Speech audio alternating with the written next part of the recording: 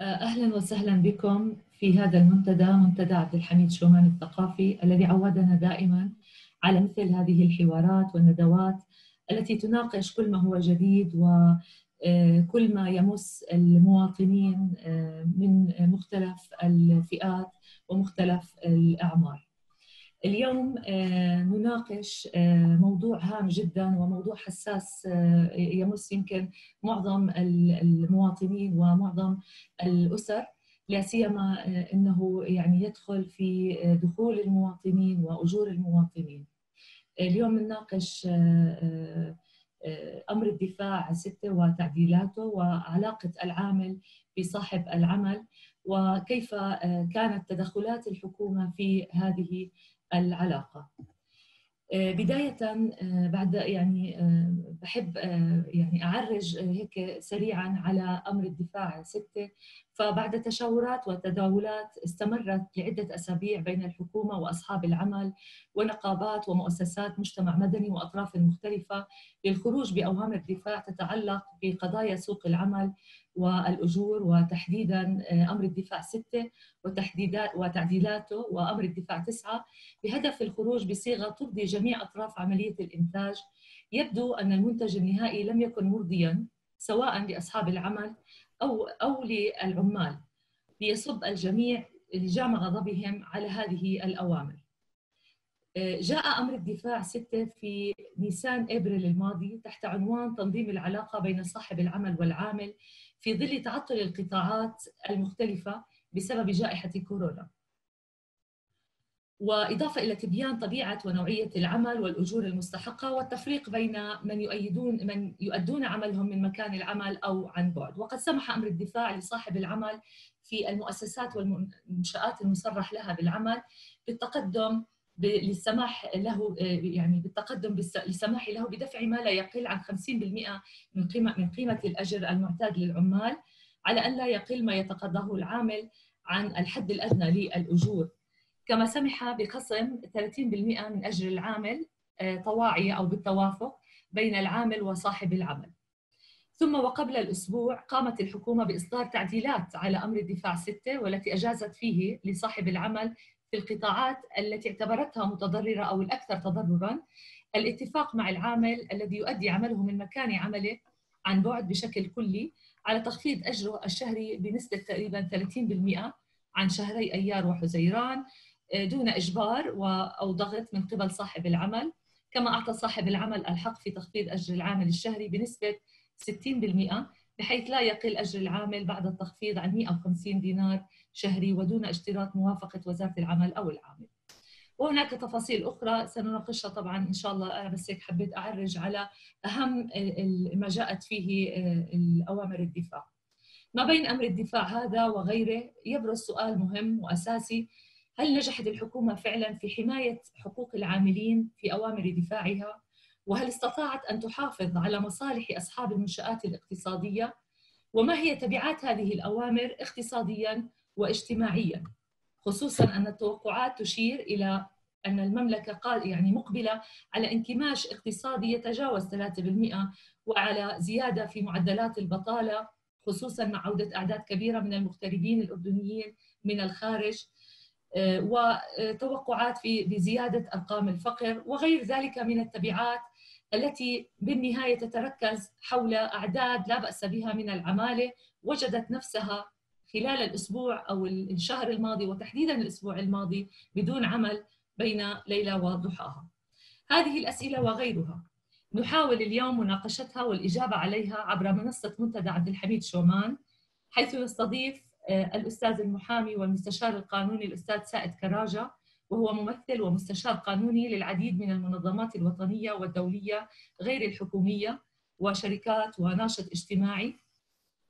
والكاتب والمحلل الأستاذ جواد عباسي المستشار في مجال الاتصالات والتكنولوجيا ومؤسس شركة المرشدون العرب المتخصصة في دراسات أسواق الاتصالات والإعلام والمالية العربية. ورئيس هيئة المديرين لجمعية شركات تقنية المعلومات إنتاج سابقاً. وكما نستضيف أيضا الأستاذ والباحث والكاتب في الحقوق الاقتصادية والاجتماعية والعمالية مدير مركز الفينيق للدراسات الاقتصادية والمعلوماتية السيد أحمد عوض. أهلا وسهلا بكم. آه، نبدأ مع السيد سائد آه، لنناقش أو لنأخذ رأيك بالجانب القانوني. بما قامت به الحكومة وكيف ترى وكيف تقرأ أوامر الدفاع آه، من من برأيك في الجوانب القانونيه هل نجحت الحكومة في الحفاظ على التوازن المطلوب بين طرفي المعادلة بين العامل وصاحب العمل وهل ترى أستاذ أن التدخل في العلاقة بين العامل ورب العمل بهذه الصورة كان صحيحا أم لا؟ مساء الخير جميعا. شكرا أستاذ سماح بيبرز على هذا التقديم. وأنا سعيد أيضا وأشكر مؤسسة شومان على هذه الاستضافة. والواقع فرصة لنشكر مؤسسة شومان هذه المؤسسة الوطنية التي تقوم بدور محوري وأساسي في استدامة الحوار في القضايا الأساسية. الحقيقة بحب أبدأ من من نقطة حول أوامر الدفاع ككل لأقول إن أوامر الدفاع أمر دستوري. وهذه النقطة أحب دائما أن أركز عليها أنه إصدار قانون الدفاع هو قانون نص دستوري وعمل دستوري. والهدف منه دائما لنتذكر أن هو مواجهة الجوائح مواجهة الطوارئ. والقانون والدستور آه، يضع هذه الأوامر هذا القانون في نطاق الحاجة لمواجهة الطوارئ. هذه قاعدة يجب أن نتذكرها. القاعدة الثانية هي أن قانون الدفاع لا لا يلغي قوانين البلد.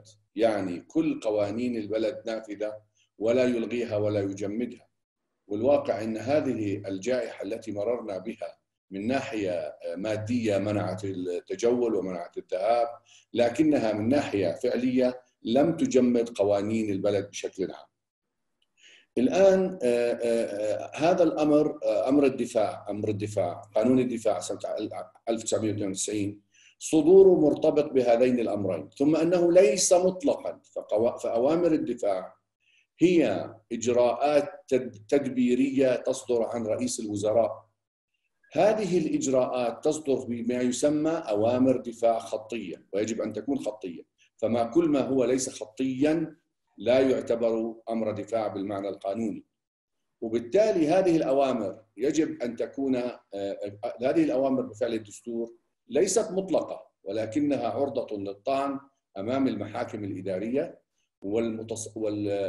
والمتضرر من هذه الأوامر يستطيع أن يتقدم بطلب تعويض إلى رئيس الوزراء مدة 60 يوم وإذا لم يعجبه هذا التعويض يستطيع أن يذهب إلى المحكمة. ولهذا أنا أردت بهذه المقدمة القانونية أن أضع الأمور في نصابها من ناحية قانونية أن أوامر الدفاع والقانون الدفاع نفسه هو يقع في نطاق المشروعية. والمشروعية تعني أن الحاكم والمحكوم أن الحكومة والشعب يخضعون لنص القانون. بهذا المعنى القانوني علينا أن نفهم أوامر الدفاع التي تأتي كما تفضلت أستاذ سماح حاول حاولت أوامر الدفاع من خلال المدخل القانوني بأوامر الدفاع رقم ستة وتعديلاته والبلاغ الأخير الذي صدر وسآتي عليه المحاولة معالجة قضية العمال. قضية العمال أثر مترتب على ليس على الفيروس وعلى الكورونا هو أثر مترتب على الحظر الذي تم وعلى وقف العمل. وأنا أنطلق من زاوية أن الحكومة حاولت أن تجد توازنا آه، في مسألة العلاقة بين العامل وصاحب العمل. أنا أنظر إلى النية أولا بعدين نشوف التطبيق شو وصل. وكما أشرتي أوامر الدفاع الأولى حاولت الوزاره بشكل عام كما شرحتي في الفترة الأولى في شهر ثلاثة اعتبرناها إجازة والإجازة مدفوعة الأجر. ثم بعد ذلك دخلنا إلى مسألة الذي يعمل كليا عن بعد والخمسين بالمئة والمؤسسات وصدر فيها مشاكل كثير. يعني التطبيق لم يكن آه، بهذا المستوى. وأيضا آه، لما مشينا آه، رحنا لأوامر الدفاع وكانت العنوان الأول لأوامر الدفاع هو المحاولة الحفاظ على العمال قدر الإمكان. إذا أنا بدي أحط لها عنوان كبير عنوان عريض. والعنوان والبلاغ رقم سبعة التي سآتي عليه ببعض التفصيل حاول أن يساعد المؤسسات الاقتصادية بمثلا فرض التخفيض 30% أو 50% أو 60% كما سنأتي ذلك تفصيلا. إذا من ماذا انطلقت أوامر الدفاع هذه في هذا الأمر؟ من مظنة أنها تحاول أن تفرض نصوصا للإبقاء على العمال دون فصلهم من زاوية في أوامر الدفاع السابقة وفي البلاغ الأخير محاولة الفرض محاولة مساعدة المؤسسات لكي تستمر بالعمل. هذا في ظني بالتحليل القانوني ما كان وراء مثل هذه الأوامر.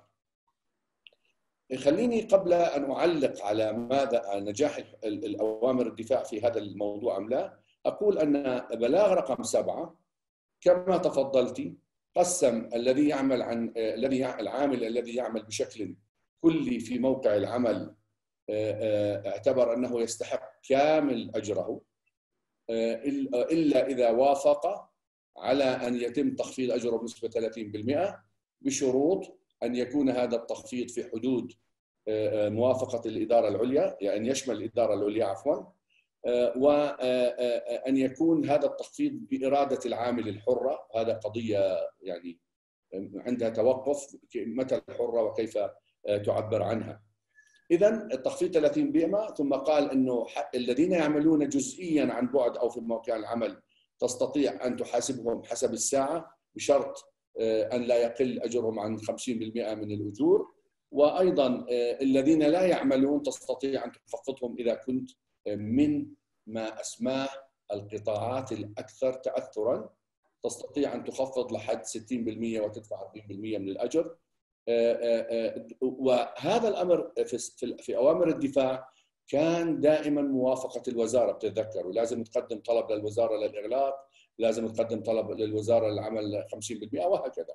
هون خرج الأمر عن الوزارة ولم يعد متطلب اشتراط الوزارة. طبعا أيضا الحد الأدنى للأجور نقل عن أقل من 150 النقطة الأخرى في في بلاغ الدفاع. أنتم لاحظتوا أنه التعديل الأخير صدر بموجب بلاغ رقم سبعة. هذا البلاغ مش أمر دفاع لأنه أمر الدفاع رقم سبعة رقم ستة. سمح بإصدار بلاغات لتعديل أمر الدفاع. فهو عبارة عن بلاغ وليس تعديل. النقطة الثانية المادة 28 كان كان أمر الدفاع قد عطل المادة نصوص كثيرة من المادة 28 فيها في البلاغ سمح بتطبيق المادة 28 على العمال شريطة عدم التعسف ووضع نفسه كوزارة عمل كضابطة عدلية يقرر في تعسف ولا ما في تعسف. وإذا في تعسف إذا أمر في تعسف يحيل الشخص إلى القضاء كما يقول اللي ممكن يسجنه ثلاثة سنوات أو يدفع غرامة. طبعا في أمر هنا أنا بعترض يعني بحتج عليه صراحة بأنه أقام تدخل وزارة العمل للعامل الأردني. أما العامل الأجنبي يعتبر أنه إذا في تعسف معلش هذا منطوق النص وهذا أمر حقيقة يعني يعني غريب عجيب. النقطة الغريبة دخل في قضية العقود المحددة المدة اللي أكثر من ثلاثة أكثر لم يتم تجديدها تم تجديدها ثلاث مرات فأكثر منع تسريح العمال اللي عندهم عقد محدد.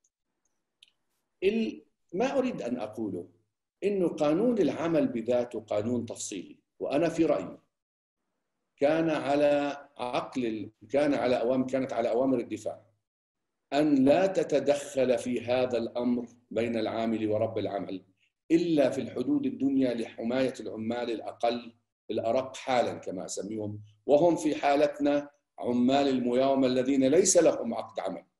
حمايتهم من حيث تأمين دخل لهم عن طريق الضمان عن طريق المعونات عن طريق الصناديق وهذا حصل. ولكن أنا أعتقد كان على الحكومة أن تتدخل في هذا السياق فقط. أما أن تتدخل في في العامل والإجازة وكيف المحدد وغير المحدد قانون العمل في تصوري كان كافيا. أنا تصوري أن الحكومة كان عليها أن تسارع لإعادة الحياة الاقتصادية وأنا أعي التحدي الصحي.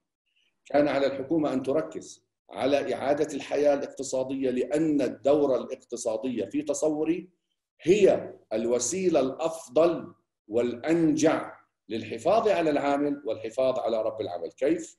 الاقتصاد معناته دخل لصاحب العمل والاقتصاد معناته بحاجه وصاحب العمل حتى ينتج اقتصاده بحاجة إلى العامل ومن هذه الزاوية العامل آه، آه، يدفع للعامل أجره. إحنا دخلنا في فترة إغلاق فترة آه، منيحة كان ممكن لنا أن نحاول قدر الإمكان إعادة الحياة الاقتصادية إلى دورتها بأقصى سرعة ممكنة والفترة الأولى أن نعتني قدر الإمكان بالعمال الذين ليس لهم موجود عمل. هم هؤلاء الأولى بالرعاية. بدليل أنا من واقع عملي بقول لك أنا محامي شركات ومحامي business lawyer زي ما بيقولوا في الأردن وفي الخارج. أنا شفت أصحاب العمل الأردنيين في الغالب الاعم في استثناءات. كانوا أقدر للوصول إلى معادلات موضوعية حسب حاجتهم وحسب حياتهم آه، كانوا ينظموا أمورهم بين العامل وبين صاحب العمل قدر الإمكان. لذلك أنا حتى لا أطيل يمكن الأسئلة اللي معنا تعطي آه، آه، يعني توجه نحو أمور أكثر تفصيلا. لكن بشكل عام أنا في تصوري أن أوامر الدفاع في قضايا العمل والعمال تدخلها الجزئي في هذا الأمر آه، لم آه، ينعكس ايجابا على العلاقة لا بين العمل ورب العمل ولا على الاقتصاد. لأنه في آخر النهار لدينا أن نعرف آه، شيء حقيقي. حماية العامل والموظف أمر أساسي لكن إذا إذا دفعت بالمؤسسة الاقتصادية إلى الإفلاس وعدم العمل يعني أنت تحكم على العامل مش على صاحب العمل أنت تحكم على مصدر رزق هذا العامل. فأنا بعتقد إنه أوامر الدفاع فيما فيما يتعلق بهذه العلاقة لو بقيت في الحد الأقل من التدخل وتركت للعلاقة الموضوعية بين الناس واعتنت بالعمال الأقل حظا وخصوصا عمال المياومة كان أجدى وكان يمكن أن تعود الحياة الاقتصاد العجلة الاقتصادية للإنتاج بشكل أسرع وبالتالي يكسب العامل ويكسب صاحب العمل. شكرا أستاذ سائد أستاذ أحمد آه، أنا حابة أنتقل بما إنه يعني أستاذ سائد ركز على موضوع العمال آه، يعني الحكومة كان نيتها بأنه آه، أو زي ما حضرتك حكيت أستاذ سائد إنه النية كانت هي الحفاظ على حقوق العمال أستاذ أحمد هل ترى بأنه النتيجة كانت فعلا الحفاظ على حقوق العمال أم العكس؟ كان في هضم لحقوق العمال في كثير من العمال وخصوصا بالتعديلات الأخيرة لأمر الدفاع ستة كان في تسريحات كثير وكان في ضغوطات كثير على العمال وخصوصا بموضوع ال 60% بصراحة. وحابة هيك أسألك برضه موضوع إنه في التوافق بالتوافق. أنا تعتقد بإنه هاي كلمة يعني يمكن نكذب فيها على على على على حالنا يعني خصوصا بإنه يعني عقد العمل أساسا هو عقد اذعان بجميع وبالظروف الطبيعية والظروف العادية. فكيف بتشوف آه، أوامر الدفاع؟ هل فعلا حافظت على حقوق المواطن أو حقوق العامل أم بالعكس تماما كان في آه، يعني نتائج سلبية؟ يعني شكرا لك ست سماح وشكرا مرة أخرى لمؤسسة شومان على استضافتها لهكذا آه، حوارية حقيقة ربما تكون مفيدة لنا كمشاركين كمتداخلين وكزملاء وأصدقاء وصديقات بيشاهدونا الآن على الزوم أو الفيسبوك أو تويتر. آه، يعني من حيث المبدا جواب مباشر أنا بعتقد إنه آه، أمر الدفاع ستة وأمر الدفاع تسعة نسبيا والبلاغ الذي صدر ب 31 5 لم يساهموا في تحقيق الأهداف التي أعلنتها الحكومة.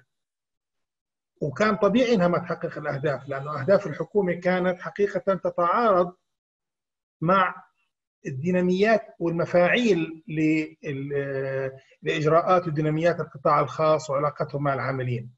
عشان أعطي صورة أكثر وضوحا يعني أنا بعتقد إنه سوق العمل الأردني والاقتصاد الأردني قبل دخول هذه الجائحة علينا بمنتصف آذار كان عنده مشكلات كبرى أصلا يعني حتى علاقات العمل كان عندنا مشكلات كبرى يعني على سبيل المثال عندنا إحنا منظومة الحماية الاجتماعية وبديش أكرر ما تم ذكره في مناسبات أخرى ولكن نص القوى العاملة تقريبا في الأردن كانت ما لها أي شكل من أشكال الحمايه وبالتالي هاي مشكلة كانت كبرى. عندنا ثلث القوى العامله الأردنية 35% من القوى العامله الأردنية ما لها أي شكل من أشكال الحماية الاجتماعية. عندنا كان معدلات بطالة عالية 19 بالعشرة بين النساء كان ربع النساء بيعانوا من البطالة. وبين الشباب يعني بين 40 وبين 48% وبالتالي كان في عندنا اختلالات كبيرة. والاقتصاد الأردني يئن من تسع سنوات من التباطؤ الاقتصادي معدلات النمو حوالي 2% وقدراته على توليد فرص العمل كانت جدا ضعيفة ومعدلات الداخلين الجدد لسوق العمل كانت تزيد سنة بعد أخرى وللأسف الشديد يعني عام 2000 و...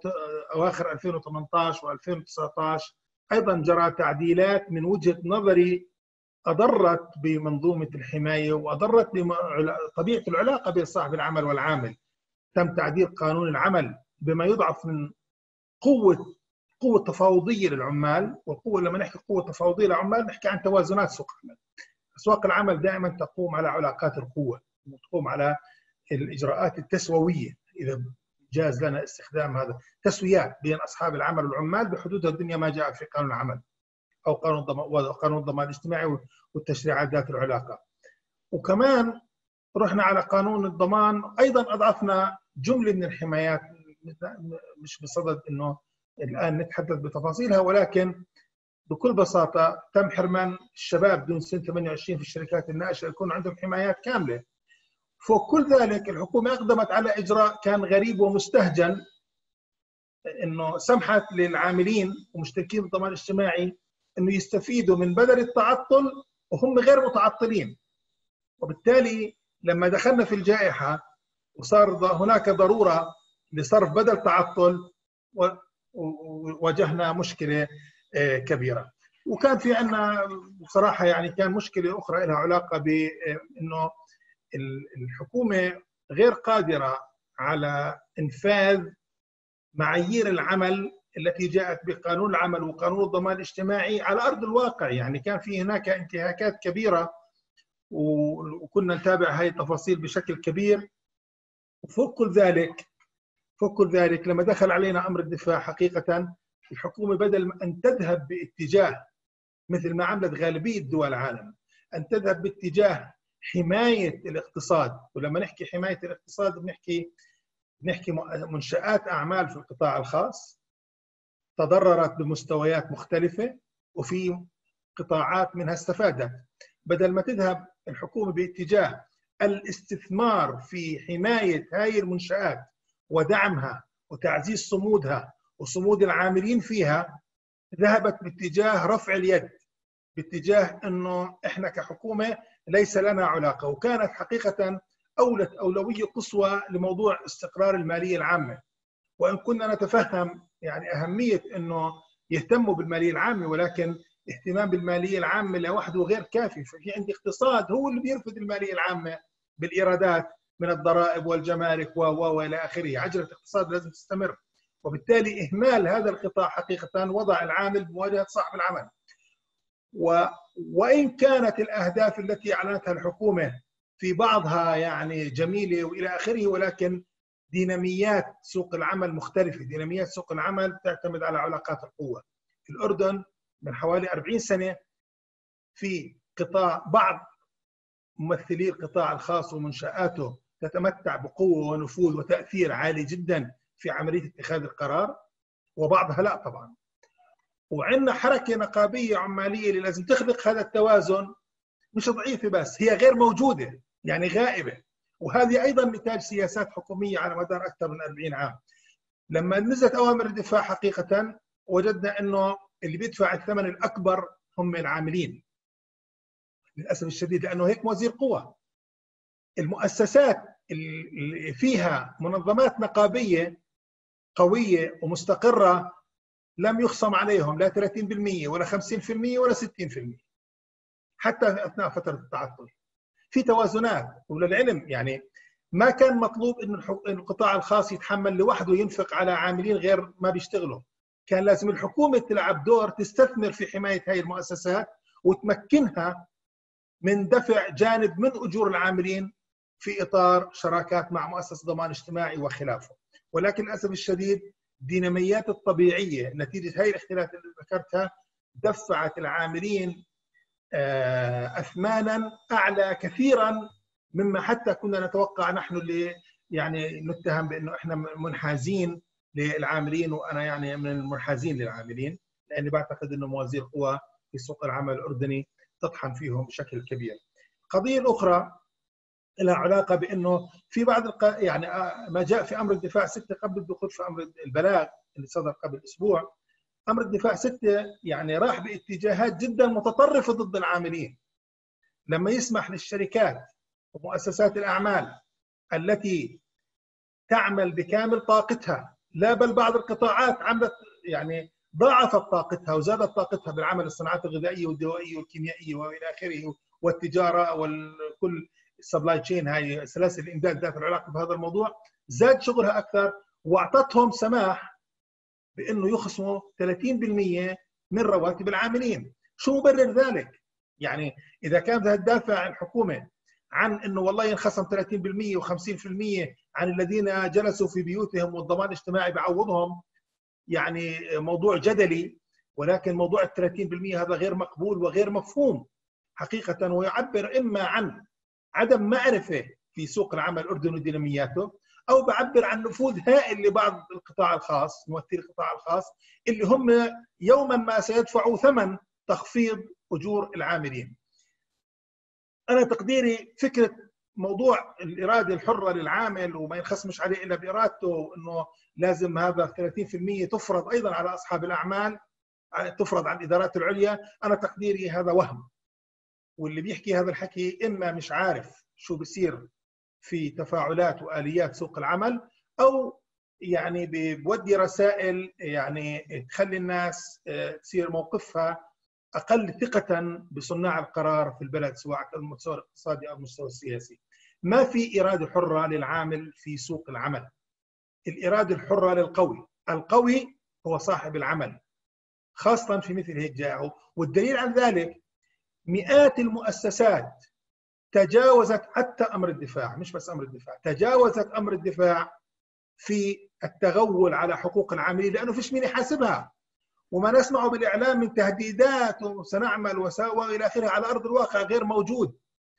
غير على أرض الواقع على أرض كان. هناك ناس في الشارع. هذا اللي على أرض الواقع. بالضبط. أنا تقديري هذا نتائجه خطيرة جدا عشان أنا يعني اعطي مجال للزملاء وللمشاركين تقديري اللي صار نتائجه خطيرة جدا ونتائجه يمكن النظر لها بمنظور اجتماعي ومنظور أو ومنظور اقتصادي أو ومنظور سياسي.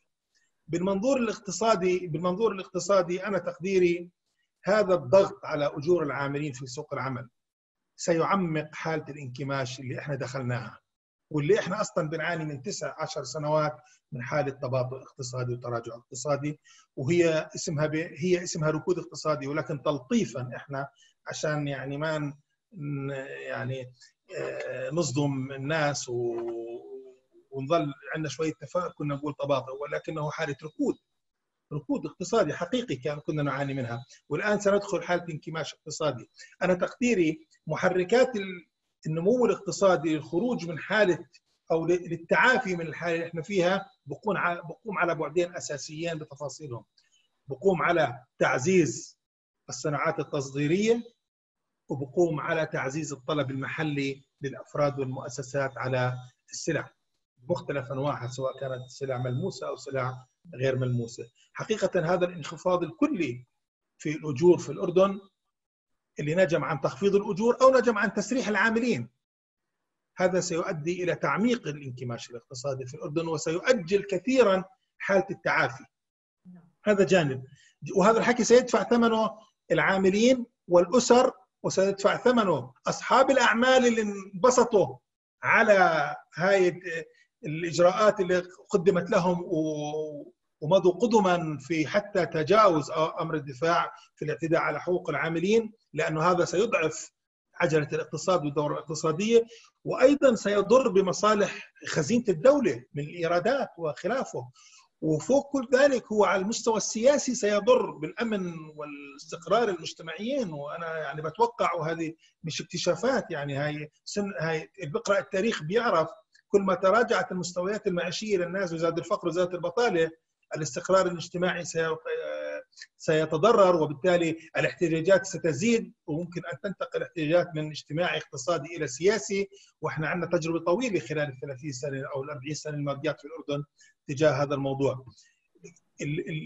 المشكلة الأعمق إنه اللي شايفينه على أرض الواقع إنه اتساع رقعة الفقر والعماله الفقيرة اللي كنا دائما نشتكي ينحكى عنها وارتفاع معدلات البطالة بشكل كبير والدراسة اللي أصدرناها قبل أسبوع بتتحدث عن 8% فقدوا أعمالهم بشكل كامل.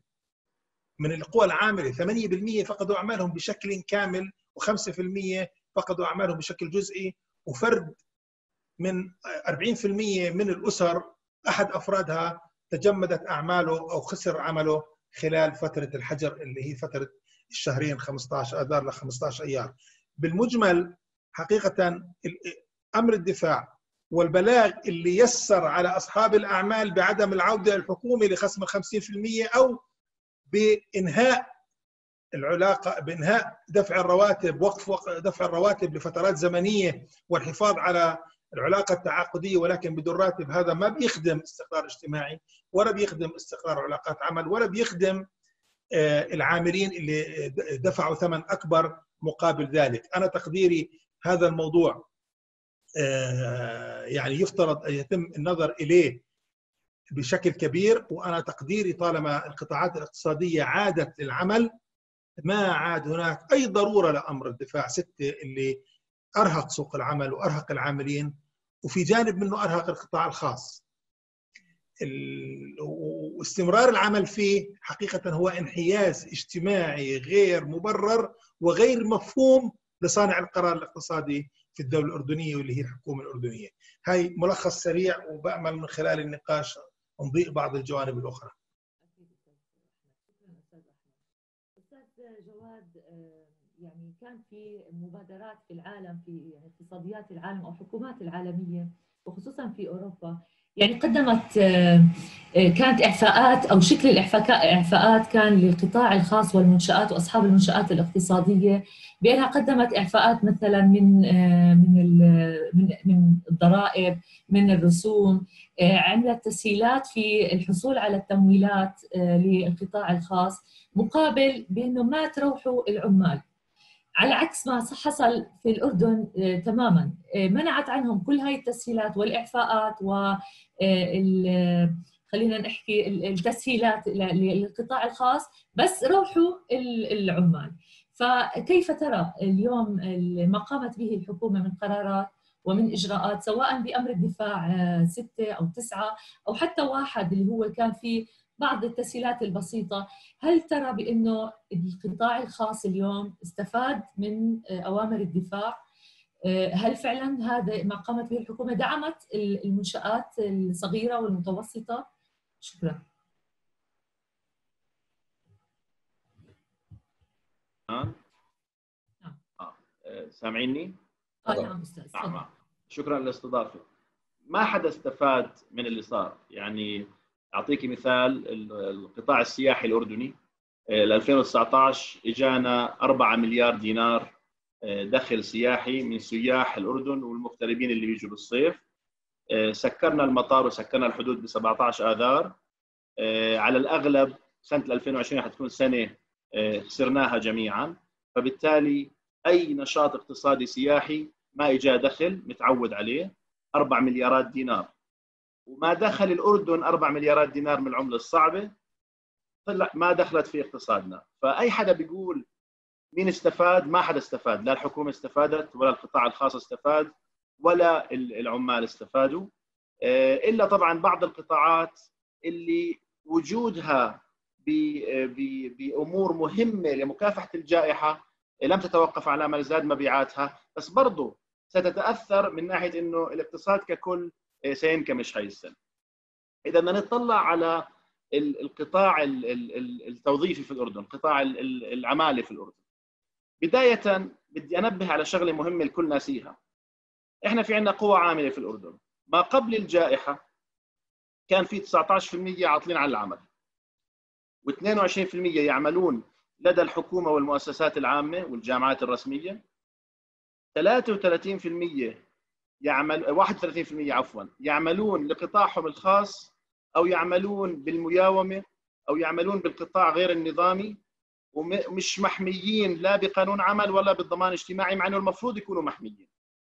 بضل 28% 28% من القوى العاملة في الأردن تعمل لدى أصحاب عمل وشركات ملتزمة بقانوني العمل وقانون الضمان بحكم إنهم مسجلين بالضمان الاجتماعي.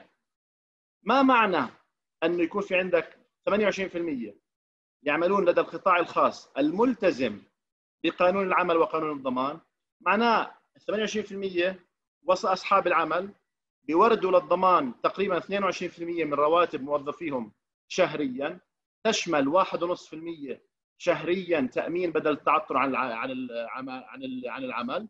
وكذلك بيلتزموا ب إذا مسجل موظفينه بالضمان معناه على الأغلب بيقدم مصدقة رواتبهم سنويا اقتطاعات ضريبة اقتطاعات ضمان ملتزم على الأغلب آه، بالتسجيل لدى ضريبة المبيعات ملتزم على الأغلب بضريبة الدخل.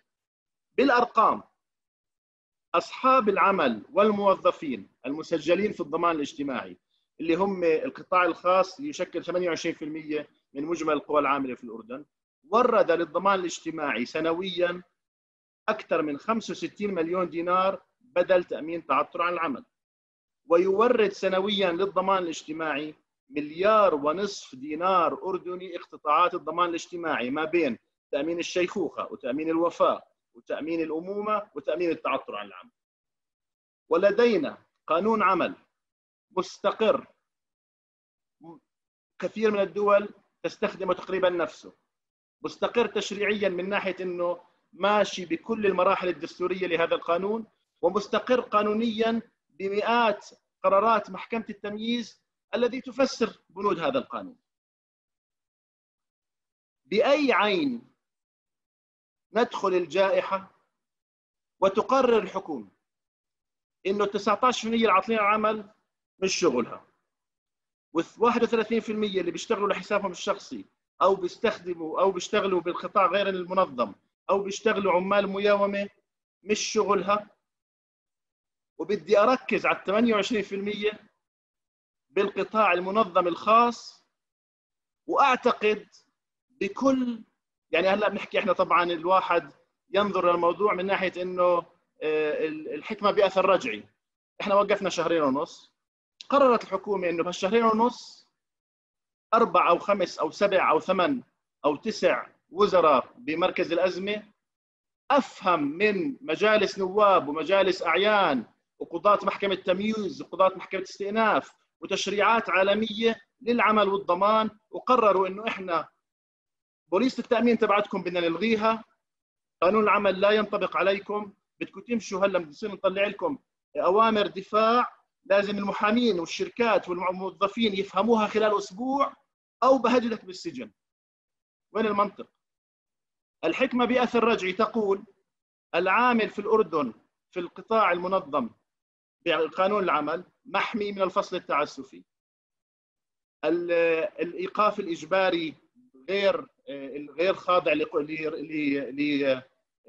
لاراده صاحب العمل. تحمي العامل بأنه يحصل على رواتب فترة التوقف ومن بعدها قانون الضمان الاجتماعي يحميه من التعطل من ثلاثة إلى ستة أشهر بحسب اشتراكه في الضمان، يعني لا لأسوأ الحالات كانت الشركات التي توقفت تماما ما بين قانون عمل فصل تعسفي أو قانون العمل الإيقاف الإجباري عن العمل خارج إرادة صاحب العمل أو قانون الضمان الاجتماعي كانت ستحمي العمال في هذه المؤسسات المتأثرة برواتب من أربعة إلى ستة أشهر حسب ظروف الشركة. إحنا وقفنا شهرين ونص.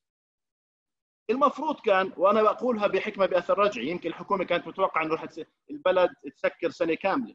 لكن كحكمة بأثر رجعي لو الحكومة قالت أنه أنا سأتأكد إنه بنود الضمان الاجتماعي كافة وبنود قانون العمل كافة لن تتأخر إذا وصلت لمحكمة. الإسراع في البت وتطبيق القانون كان سيكون كثير أكثر من من الضبابية اللي صارت ومن المفاجآت اللي صارت للعمال ولصاحب العمل وللمنظومه الكلية. هلأ ممكن يقول لك ما صار شيء أنا برأيي لا ضر ضرنا على المدى البعيد. ليش؟ لأنه اللي بيسجل شركة في الأردن وبيحط فيها رأس مال. قانون الشركات بيقول له ذمتك المالية منفصلة عن ذمتك بالشركة المسؤولية المحدودة. انت فتحت شركة ب ألف دينار انت و20 شريك أو انت وخمس شركاء التزامكم للشركة فقط بما دفعتوه كراس مال وهي الشركة اعتبارية هي التي تعاقب إذا خالفت قانون العمل برأس مالها. فأنت محمي بقانون الشركات. لغينا قانون الشركات لأنه صار الشريك ممكن ينسجن مع إنه الشركة شركه اعتبارية منفصلة عنه. لغينا قانون الضمان لغينا قلنا للموظف كنا ناخذ منك 1.5% شهريا من راتبك تأمين التعطر العمل مزعنا البوليصة. الضمان مش متعرف عليه. لأنه حتى تضامن واحد تضامن اثنين كثير أقل من الالتزام الحقيقي اللي على الضمان الاجتماعي بموجب قانون الضمان الاجتماعي. وكذلك قانون العمل قلنا للشركات وللعمال لغينا قانون العمل شوفوا هلا أوامر الدفاع. طيب كيف بدي أجذب الاستثمار أنا بال 2022 للأردن؟ الناس رح تتذكر. الناس رح تتذكر إنه أنت لما أنت أوقفتني أنا مثلا فندق يعتمد على الترانزيت. فندق في الأردن يعتمد على سفر الترانزيت. سكرت المطار. وبعدين قيدتني بأنك لغيت حمايات الضمان الاجتماعي يعني أنا كنت ملتزم بالضمان الاجتماعي ولغيت حمايات قانون العمل. كيف سأثق فيك في المستقبل؟ لارجع أفتح شركة أستثمر في الأردن. هاي هي الخطر اللي صار علينا إنه إحنا للأسف اعتقدت الحكومة إنها حكمتها أكثر من عقود من الاستقرار التشريعي عقود من البرلمانيين والأعيان والنواب وقرارات محاكم وما إلى ذلك. فهاي كان الخطأ اللي علينا. مقارنة بدول ثانية شو عملت؟ في نموذج أوروبي ونموذج أمريكي. الاثنين كانوا أحسن من النموذج الاردني بأمريكا عندهم مرونة فائقه بالعمل. الحكومة قالت أي شركة وقفت قانون العمل الأمريكي بيمشي عادي اللي هو حرية التسريح. لكن لكن آه، آه، حرية التسريح كانت بالتزامن مع إنه بدل التعطل العمل في أمريكا رفع بشكل كبير بحيث إنه ثلثي ثلثي 67% ممن سرحوا في أمريكا وهم قاعدين ببيوتهم صار يوصلهم فلوس أكثر مما كان لما كانوا بيشتغلوا. بمعنى إنه سيخرجون من الجائحة الميزانية المنزلية أعلى مما كانت ستكون وشفناه بشهر خمسة لما ارتفعت فجأة آه، ال ال ال الأرقام العمالة في أمريكا لأنه لما فتحت الاقتصاد مرة ثانية الناس كان معها فلوس تصرفها في الاقتصاد المطاعم رجعت اشتغلت السينمات رجعت اشتغلت وهذا اللي شفناه. في في أوروبا خصوصا بريطانيا أخذوا نموذج نموذج ثاني قال لك لا أنا بدي أحافظ على العامل في محل عمله وبالتالي قالوا للمطعم اللي سكر بدفع لك 80% من راتبه الراتب على الحكومة مش على المطعم اللي سكر. فإذا بتلاحظوا النموذجين الأوروبي والأمريكي كثير أحسن من النموذج الأردني الأردن الحق يقال الحكومة قالت الباقي تفاصيل وبعدين لما طلعوا لنا التفاصيل قرروا إنه التفاصيل إحنا بدناش ندفع شيء دبروا حالكم وحتى الضمان ما بده يدفع. والله الله يكون بعونكم جميعا. وبس جنك إذا بتقول لا. ما أعتقد إنه هذا مفيد للاستثمار المستقبلي في الأردن ولا أعتقد مفيد للثقة. وأعتقد إنه ضروري حاليا هلأ التراجع عن أمر الدفاع تماما. يطلع أمر دفاع 11 ولا 12 ولا 13 يقول تعود كل قوانين المملكة الأردنية الهاشمية كما هي ويعود القضاء شكرا جزيلا ونحن آسفين عن التخبيصات اللي عملناها بالست أسابيع ثمان أسابيع لما قررنا إنه إحنا بنفهم أكثر من عقود من المشرعين الأردنيين وأكثر من عقود من محاكم التمييز الأردنية وأكثر من كل الدول اللي قانون العمل تبعها يشابه قانون العمل الأردني. شكرا أستاذ جواد.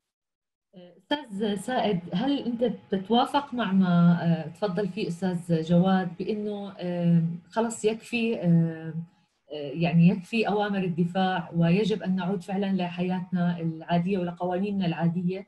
أم إحنا هلأ ممكن نأتي إلى يعني في حديث كثير عم يحكي عن موجات للكورونا وقد نضطر إنه نبقى على هذه القوانين. التأثيرات والأبعاد يعني الأبعاد استمرار مثل هذه الأوامر الدفاع وتجميد بعض القوانين. آه، ألا يعني كيف بتشوفوا وهل له تأثيرات سلبية على حياة المواطنين وعلى حياه العمال وحتى على حياة أصحاب العمل؟ وفي سؤال ثاني أنا حابة أسألك فيه يعني يعني الحكومة كانت دائما لما كان صار في انتقادات صراحة على هذا أوامر الدفاع. كانت تحكي إنه العلاقة التعاقدية لم يتم المساس فيها وظلت العلاقة التعاقدية موجودة والعامل لم لم يسرح. فممكن تفسر لنا وين الثغرات القانونية أو الثغرات في أوامر الدفاع؟ ما بعرف كيف ممكن نفسرها يعني. يعني آه، أنا بعود للمقدمة اللي أنا حاولت منها أقف على البعد التشريعي لهذه القضية. إحنا قلنا إن قانون الدفاع كله موجود لغايات مواجهة الطوارئ. فأنت اليوم آه، بدك تحط أي تعديل أو وقف للقانون لخدمة هذه الغاية الكبرى. آه، ما بعتقد إنه الاوامر اوامر القوانين اللي إنك تعطل القوانين. مثلا المادة 28 أنت لما عطلتها. إحنا شو عندنا في الحياة العملية؟ القوانين المادة 28 هو الفصل دون إشعار ومكافأة لأسباب محددة. انت لما تفعلها شو كان عندك مشكلة؟ إنه القضايا في المحاكم بتطول بتاخذ فترة وبالتالي العامل الذي انفصل تعسفيا قد يجلس سنة أو سنتين دون أن يأخذ تعويضه. أوامر الدفاع تتدخل في هذا الأمر وتجعل هذا القضاء لمدة أسبوع أسبوعين ثلاث أسابيع من محكمة مختصة. هذا موضوع مختلف. لذلك أنا آه، بعتقد إنه الرؤية في قضية التدخل في تفاصيل العلاقة بين عمل وصاحب بين العامل وصاحب العمل لم يكن لم تكن استراتيجية موفقة.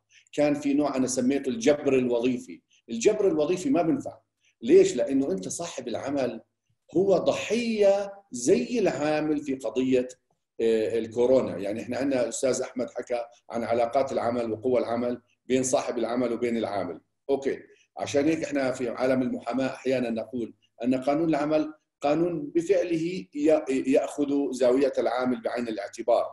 إيه، وبهذا أقول إنه التدخل الذي حصل في أمر الدفاع رقم ستة والبلاغات اللي حواليه في محاولة تفصيل وفرض وتكييف العلاقة بين العامل وصاحب العمل لم تكن رؤية موفقة. وأنا بعتقد لو تركت الأمور على إيه، على على إطلاقها لكان هناك حماية أكثر بشرط كما أشار آه، آه، الأخ أحمد والأخ جواد لقضية تدخل الدولة آه، لوضع سيولة لأن السيولة هي عنوان المرحلة. إذا كانت المؤسسات إما لها دخل بالعمل أو إنك تساعدها في سيولة لفترة محددة.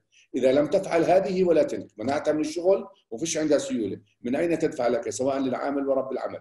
إحنا في فترة كورونا صار في عندنا ثلاث قوى أساسية علاقة العامل وعلاقة رب العمل والكورونا وتأثيره على سوق العمل. لذلك يعني سؤالك حول قضية هل نجح نجحت أوامر الدفاع في أنها تخلق هذا التوازن؟ الصراحة لا لأنه إحنا في عالم الاقتصاد من موكلينا مما نسمعه من الناس. وحتى قضية إذا بدي أعرج على قضية ال 500 مليون اللي أعلنت عنها البنوك إنها بدها تدفع للقطاع الخاص. أنا عم بسمع عنها إنه هذه المبالغ لم تدفع والبنوك بتقول وقد يكون إحنا بندفع للموكل اللي بنقدر للعميل الذي نستطيعه. لذلك أنا ما بعتقد إنه طريقة التدخل بالنحو الذي تدخل فيه صاحب الأوامر الدفاع في العلاقة بين الطرفين استطاعت أن تنقذ لا العامل ولا رب العمل. يا جماعة إحنا ببساطة في ظرف غير طبيعي. الظرف غير الطبيعي أوقف العجلة الاقتصادية. العجلة الاقتصادية هي التي تأتي لصاحب العمل بالمال لكي يدفع. في حالتي آه، إذا ما في عمل يجب أن يكون هنالك مساعدة. زي ما حكى جواد في قضية الأخ جواد في قضية آه، ضمان الاجتماعي. الناس اللي مشتركين بالقانون العمل قانون الضمان الاجتماعي وجد لمثل هذه الظروف. ليش تعطلوا؟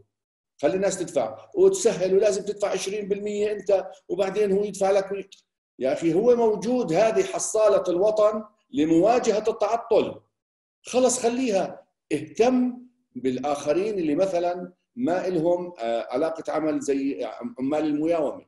ادعم ادعم المؤسسات الاقتصادية لغايات إنه يصير في عندها تتحمل تدفع للعمال.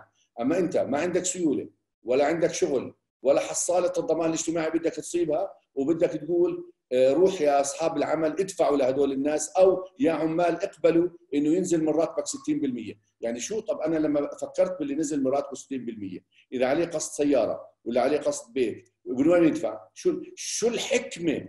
شو العبقرية في قضية أنت تفصل خصومات؟ هذا 40 وهذا 30 وهذا 60 الحقيقة هذه نتيجة آه، آه، عملية للتدخل الخطأ الأول.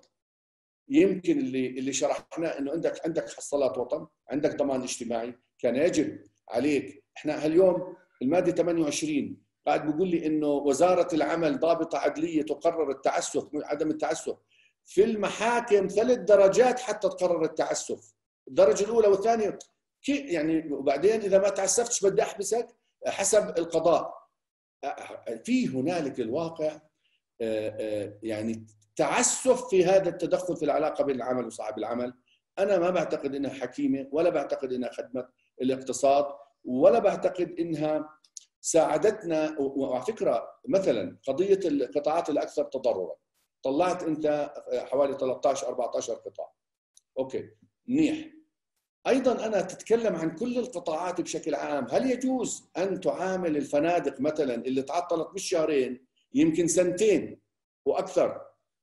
طب ما ألا يجب أن تعالجها بشكل منفصل؟ هاي الفنادق في الأردن اللي أقل فندق بالمناسبة يمكن عنده 250 ل 400 عامل. يعني 400 عامل في خمسة شوف الرقم من الاردن طب يا أخي هذا ما بتعالجهم لحالهم في بعضهم من موكلين تقدم للضمان الاجتماعي للضمان الاجتماعي تغلب تقدم للبنك المركزي إلى قروض البنك المركزي تغلب لذلك ستي شوفي أنا خلينا أجمل هذا الموضوع. التدخل الزائد في العلاقة ومحاولة الجبر وجبر الحلول ونوع من أنواع الفوقية في فهم هذه العلاقة الحقيقة ما كان آه، آه، شيء موفق ولا بعتقد إنه خدم لا صاحب العمل ولا العامل آه، وللأسف إن شاء الله إنه يعني أنا بدعو إنه هذا الأمر يعود مادة 28 ولا المواد الأخرى في قانون العمل أنت تعطلها ليش في هذه الظروف؟ أنت إذا شايف في نزاع وفي فصل تعسفي أمر محكمة العمل تشتغل 24 ساعة أو أو خلي البت في النزاع خلال أسبوعين انتهى الموضوع. وبالتالي صاحب العامل الذي يفصل له تعويض قد يكون مجزي. العقد المحدد المده الآن حسب التعديل الجديد لا يجوز إلغاء العقد المحدد المده اللي اللي اللي كان قد تجدد لأكثر من ثلاث مرات لا يجوز لا يجوز الغائه لحين انتهاء أمر الدفاع. كل حالة الدفاع. طب يعني مش فاهم أنا ليش؟ يعني ما ما شو الحكمة في هذا الموضوع؟ هل تريد أن تصل مؤسسات حيث صاحب العمل والعمال في خلاف شخصي وقد يكون نزاع وقد يكون اعتداء جسدي لأنه عامل قاعد عندك بموجب أمر الدفاع وصاحب عمل ما عنده يدفع لك؟ مش حكمة. ببساطة إحنا كناس كلويرز بنشتغل كمحامين بنشتغل في عالم الأعمال نعلم أن الدورة الاقتصادية والدعم الحقيقي لقطاعات الاقتصاد هو الذي ينقذ الاقتصاد وليس التدخل الجبري في العلاقة بين العامل وصاحب العمل. سائد معلش بس سؤال برضه يعني يعني دائما معروف في بأنه ممكن هناك يكون في التفاف دائما على القوانين بصراحة يعني قد إيه اليوم الاوامر الدفاع جعلت هاي الأمور هيك مايعة يعني زي ما بيحكوا إنه لأنك تلتف وتستطيع إنك كرأس يعني كصاحب منشأة إنك تخفض تخفض من التكاليف. بالعكس أنا حاسة أو شايفة في بعض القطاعات طلعت كسبانة من من هاي الأوامر الدفاع صراحة. فأل... نعم. تفضل أستاذ أحمد. يعني, يعني تفضلي. استكمالا للحوار والمدخل اللي تناول فيه الأستاذ سائد كراجل الموضوع أنا تقديري آه، يعني الأزمة اللي مرينا فيها يعني كشفت عنا اختلالات كبيرة. حكينا عن قضية الضمان الاجتماعي وبدي أدخل على موضوع قضية الجبر والتدخل في بأدوات أوامر الدفاع في العلاقة بين العاملين وأصحاب العمل. وكيف إنه الديناميات الداخلية للعلاقة حقيقة هي اللي بجوز آه، دفعت الحكومة إنها تتدخل وممنوع تلغي عقد وممنوع تنهي وممنوع وممنوع وممنوع لأنه ما في توازن قوى أصلا. يعني أنا تقديري علاقات يفترض والنموذج المتميز في العالم لعلاقات العمل والحفاظ على حقوق مختلف الأطراف وبناء علاقات عمل متوازنة بما يحفظ الحد الأدنى من المعايير اللي يكون موجود في تشريعات العمل. تشريعات العمل المتعارف عليها بتضمن لك الحدود الدنيا من شروط العمل لا بعدين علاقتك مع صاحب العمل هذا كفو هذا مش كفو نقابة قوية نقابة ضعيفة قطاع ناجح قطاع غير ناجح هو اللي بيحدد حقيقة حجم المنافع اللي ممكن يستفيد منها العامل وممكن يستفيد منها صاحب العمل. وإحنا بنلاحظ في يعني بالوقت اللي إحنا بنعاني في البلد كان فيها بطالة عالية جدا. بس آه، العديد من العمالة الماهرة كانت تلاقي شغل وتجيب رواتب عالية. يعني الفكرة الجوهرية العوامل التي تؤثر على علاقة العمل متعددة. العامل الرئيسي توازنات القوى والمفاوضه الجماعية والناس تقعد على الطاولة وتتفاوض بيطلع لي هيك بيطلع ليش هيك ظروف الشركة ضعيفة. بطلب زيادات ظروف الشركة ممتازة بطلب الزيادات بطلب تأمينات إضافية بطلب بطلب بطلب هيك علاقات العمل في العالم للأسف الشديد. وهذا على الحكومة تنتبه له بشكل جدي وعلى صناع القرار ان ينتبهوا له بشكل جدي. أحد أسباب الاختلالات اللي صارت عندنا إنه فيش عندنا توازنات اجتماعية في علاقات العمل. العلاقة الفردية بين العامل وبين صاحب العمل علاقة مختلة. علاقه مختله بالكامل لا يمكن البناء عليها من أجل الحفاظ على مصالح العاملين وأصحاب الأعمال. بالقدر اللي بيكون من حق أصحاب الأعمال ينظموا حالهم في أطر كما هو حاليا من حق الطرف الآخر يقعد معهم على الطاولة. خلاف ذلك الاحتجاجات بتزيد والاضرابات بتزيد والاعتصامات بتزيد وبيدفع الثمن العامل وصاحب العمل. لذلك أنا تقديري ما بعد كورونا كل منظومة علاقات العمل في الأردن وقانون العمل لازم ينحط على المشرحة وينعمل له إعادة بناء ويعاد النظر في هذا النموذج اللي انهار بأسبوعين فريزنج للاقتصاد لذلك أنا بعتقد إنه هذا يعني أمر كثير جدا مهم على صناع القرار الحقيقيين في الدولة الأردنية ينتبهوا له. في قضية أنا فاتني أحكي عنها يعني في المداخلة الأولى إذا الوقت بيسمح ست سماح. يعني. الطريقة اللي تم التعامل فيها من الحكومة مع القطاع الخ... العاملين في القطاع الخاص والعاملين في القطاع العام. يعني ضربت بعرض الحائط ورمت في المحيط مش بحر.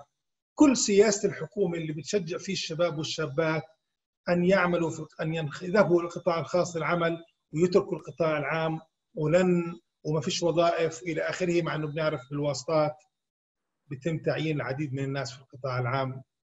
آلاف سنويا أنا تقديري بعد ما هذا يعني ما بدي أسميه دلال ولكن الحفاظ على حقوق العاملين في القطاع العام تقريبا شبه كاملة من الصعب على الحكومة تيجي تقنع الناس روح اشتروا بالقطاع الخاص اللي أمر الدفاع ستة والبلاغ اللي صدر بموجبه حقيقة حطتهم بالزاوية وحطتهم بالحيط وقالت للقطاع الخاص إذا بدك تخصم 30% يخصم إذا بتخصم 60% يخصم إذا بتقدر 50 في أو 60% يخصم. وإذا مش قادر تدفع استغني عنهم بكل سهولة. حتى لو كانت الأهداف لهذه الأوامر مش لا تهدف إلى فصل الناس ولكن آلاف الناس تم فصلهم من أعمالهم باستخدام أوامر الدفاع والحجج اللي بنعرفها.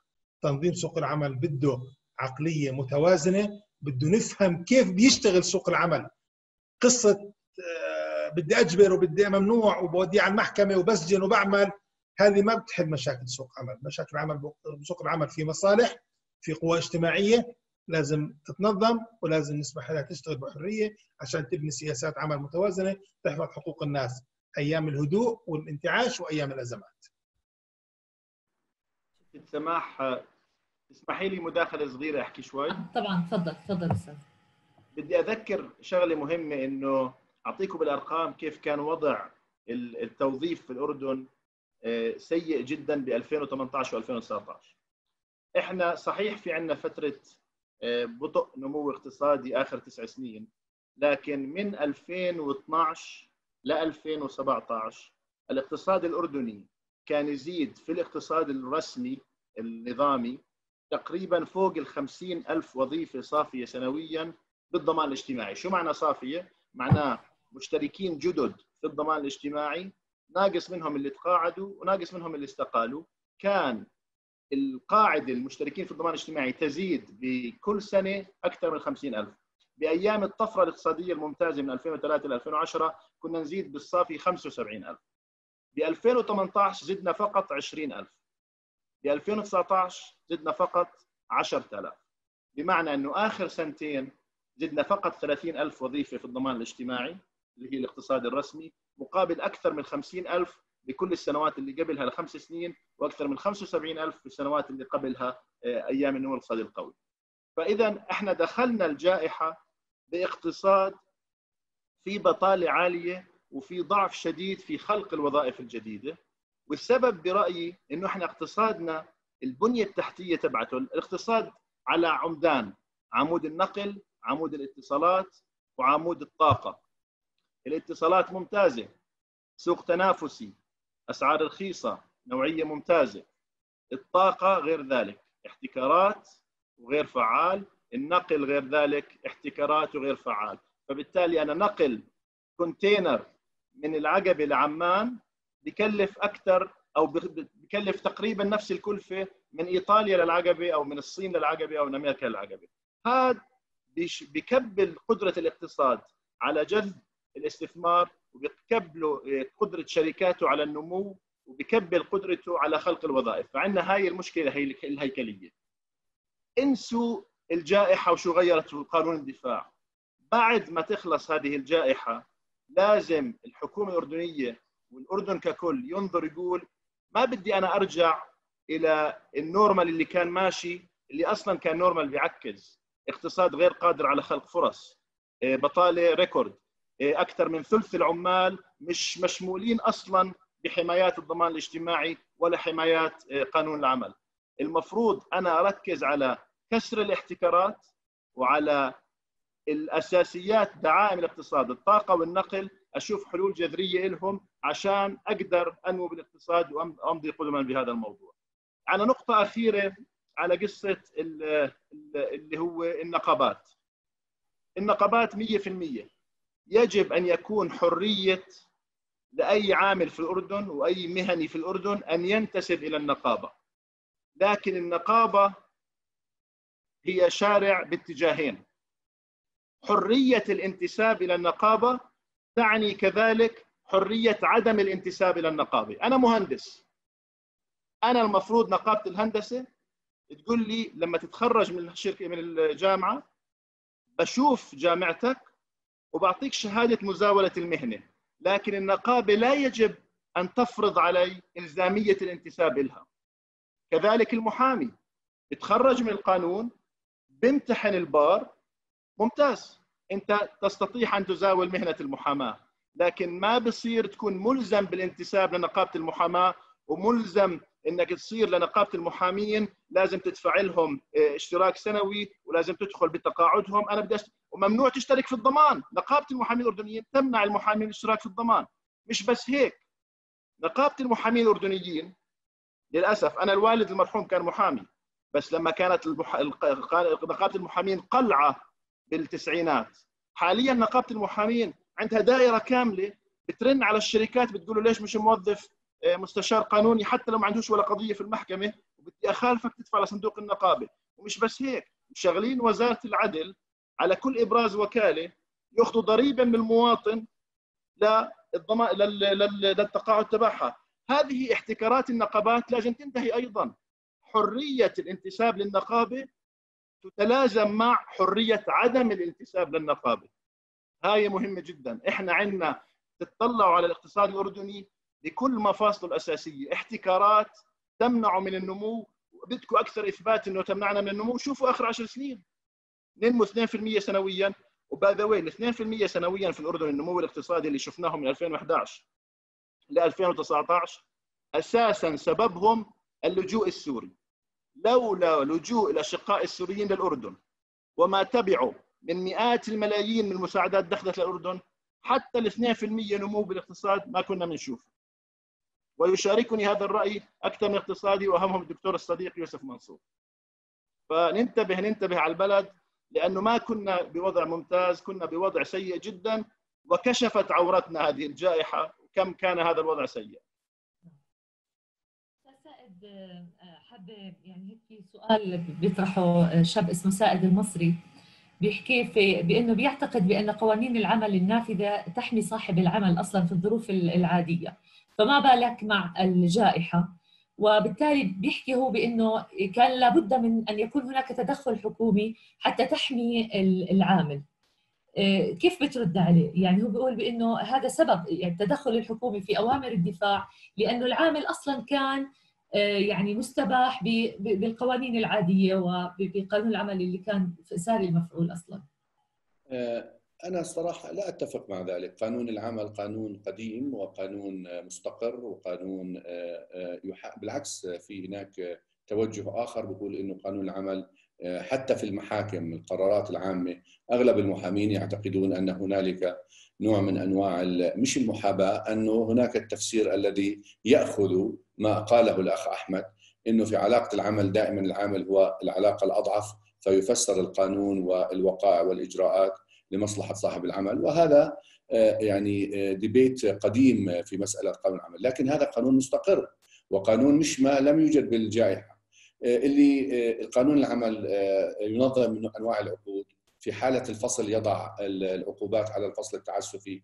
مثلا في كما قلت في سيئة في هذا العمل لأنه العامل اللي راح للمحكمة ما بيصير يستنى ثلاث سنين مشان يأخذ القرار إذا كان فصل تعسفي. هذا أمر كان يعني يجب أن أن ينتهي مع أنه القانون نفسه يقول انه هذه العقود وهذه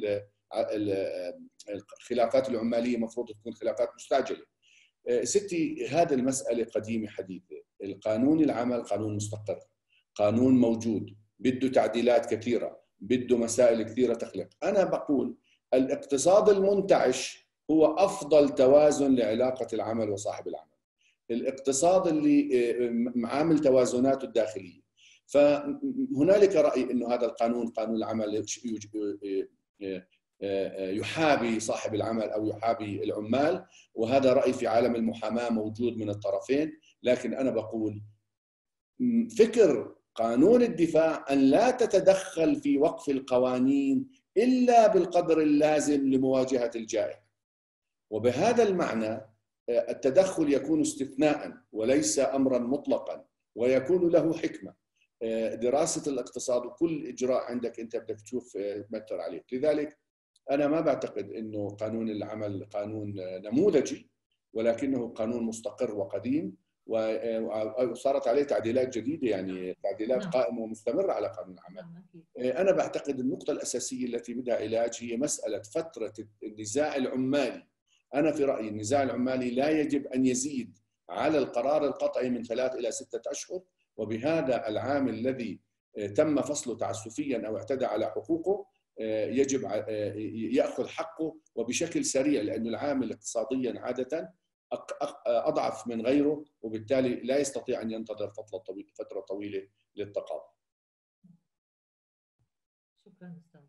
أستاذ أحمد يعني أنا حابة أسأل بالبعد الجندري، هل تعتقد بأن أوامر الدفاع يعني راعت البعد الجندري يعني أصلا آه، نسبة النساء العاملات بطبيعة الحال والمشاركة الاقتصادية للمرأة أصلا آه، ضعيفة. ألا ترى بأنه هذه أوامر الدفاع هل ستزيد الطين بلة زي ما بيقولوا وستزيد مشكلة المرأة العاملة وبالعكس انسحاب المرأة العاملة من سوق العمل وأنت أدرى يمكن قد إيه في عندنا مشكلة بهالجانب. يعني في الموضوع هذا فيه له جانبين، تفضل. خصوصا إنه إنه أصلا في تمييز ضد المرأة في في في العمل وفي في يعني ظروف العمل. فما بالك اليوم مع هذه مع مع مثل هذه الأوامر يعني؟ يعني في جانبين للموضوع اسمحي لي ست سماح. الموضوع الأول له علاقة بإنه المراحل المتأخرة من أوامر من القرارات الحكومية بفتح الاقتصاد ما أخذت بعين الاعتبار إنه النساء العاملات عندهم التزامات اجتماعية أخرى وعندهم أطفال وبلزم بلزم يعني مؤسسات أخرى يتم السماح لها بالعمل مثل حضانات ونوادي الأطفال وإلى آخره وبين السماح لها بالعمل. وبالتالي هذا خلق مشكلة كبيرة سواء بالقطاع العام أو بالقطاع الخاص لأنه هلأ عطلة صيفية حضانات كان ما في هلأ نوادي صيفية ما في وبالتالي كمان المشكلة ما زالت قائمة. وبالتالي أنا تقديري وبالتقدير في هذا الجانب المرأة دفعت ثمن أعلى. في أحد نتائج الدراسة المسيحية اللي عملناها إحنا وأصدرنا نتائجها يوم الأحد الماضي ما قبل الماضي درسنا هذا البعد. وجدنا أنه حقيقة اللي ما من بين اللي فقدوا وظائفهم بشكل جزئي وبشكل كامل كانت نسبة الرجال هي الأعلى حقيقة. وبالتالي هم دفعوا ثمن أعلى. وعند تفسير ذلك بكل بساطة كان في عاملين أساسيين حتى الآن. وصلنا لهم. أنه غالبية المتضررين الذين خسروا وظائفهم سواء بشكل كلي أو جزئي هم كانوا بيشتغلوا بالأعمال الحرة. وبالتالي الأعمال الحرة والمهن الحرة هاي غالبيتهم رجال. ما بين ميكانيك وبين قصير وبين دهين وبين سائق وبين control وبين وفي هناك مئات من هاي المهن اللي بتشتغل بشكل يومي. الجانب الآخر إنه إحنا جزء كبير جدا من العاملات في الأردن بيشتغلوا في القطاع العام. وبالتالي هم رواتبهم ظلت شغالة وما تعطلت دخولهم. وبالتالي كان هذا عامل. وبالتالي في بعض الجوانب نعم المرأة دفعت ثمن أعلى ولكن في جوانب أخرى كان الرجل هو اللي بيدفع ثمن أعلى. ولسه إحنا التفاعلات يعني متحركة. يعني إحنا لسه لو عملنا دراسة بعد أسبوعين أو ثلاث ممكن نلاقي نتائج مختلفة. هاي إذا اجابه يعني وافيه لسؤالك ست سماح جواد في سؤال آه، من شاب اسمه ينال توك. بيحكي إنه هل تعتقد أن الدول الأردنية بمصاف الدول الأوروبية وأمريكا بتقوم بتعويض المواطنين بأحسن من دخلهم؟ آه، يعني بيحكي بإنه المقارنة غير متوافقة أو غير آه، عادلة. فكيف بتجاوبه أو كيف بتشوف بإنه كيف بتجاوبه يعني أو كيف بتشوف هذا الموضوع؟ هلأ كل الدول طبعا تختلف في قدرتها على التحفيز المالي لكن الأردن قادر على بعض التحفيز المالي وقادر على شبكة أمان اجتماعي. هلا من ناحية فلسفية نحن نتحدث عن أنا ركزت على ال 28% من القوى العاملة في الأردن اللي أصحاب العمل ملتزمين بقانون العمل مشركين موظفينهم بالضمان الاجتماعي الموظف يدفع للضمان الاجتماعي أكثر من 7% من راتبه شهريا اقتطاع لهذا الضمان الاجتماعي. يشمل هذه التامينات الاجتماعية. وتورد الشركة 14.5% بمجموع تقريبا 22% من الراتب يورد يورد للضمان الاجتماعي شهريا مقابل هذه التامينات الاجتماعية. مليار ونصف دينار أردني اقتطاع الضمان الاجتماعي سنويا من الشركات والعمال المشتركين لدى الضمان الاجتماعي. 1500 مليون دينار مليار ونص. اجى وقت تدفع شوي منهم هالشهرين ونص اللي انقطعوا العمل فيه. لا يجوز للحكومة أن فجاه تقول لا عفوا بطلت ألعب بدي أغير القانون. والبوليس التأمين تبعتك هاي اللي هي ضد التعثر العمل بالضمان اللي أنا بحكي لك عنها من سبع ثمان سنين مزعناها. هم قادرين على دفع. بدل تعثر العمل لأنه بدل التعثر العمل بيعطي العامل ثلاث لست أشهر بحسب اشتراكه وبيعطيه بحد أقصى 500 دينار شهريا. يعني أنا حسبتها بيطلع المبلغ بالحد الأقصى بيطلع المبلغ بالحد الأقصى 100 ل 120 مليون دينار على موجودات ضمان 13 مليار. واصلا بقانون الضمان بند التعثر العمل حساب ادخاري للموظف. إذا صار بالسالب لما يتقاعد تعمل مقاصه معه يعني أنت ممكن تدينه شوية بدل تعثر على العمل وترجع اللي صار أنا برأيي المتواضع اللي صار ضربة شديدة للثقة في قوانين الدولة الأردنية أنا هلأ الضرر اللي صار بقانون الدفاع رقم ستة رح نشوفه ب 2021 و 2022 لما يجي حدا مستثمر عند مكتب الأستاذ سائد يقول له آه شو الأمور الناظمة عندي؟ عندي قانون شركات، عندي قانون عمل، عندي قانون ضمان اجتماعي.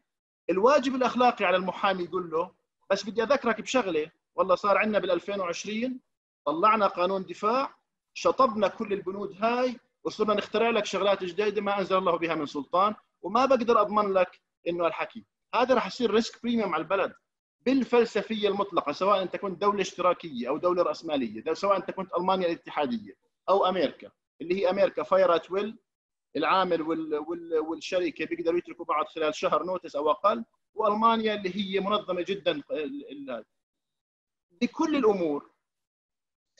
مسؤولية الدولة أساسا هي الحماية الاجتماعية تمول من ضرائب الشركات والأفراد.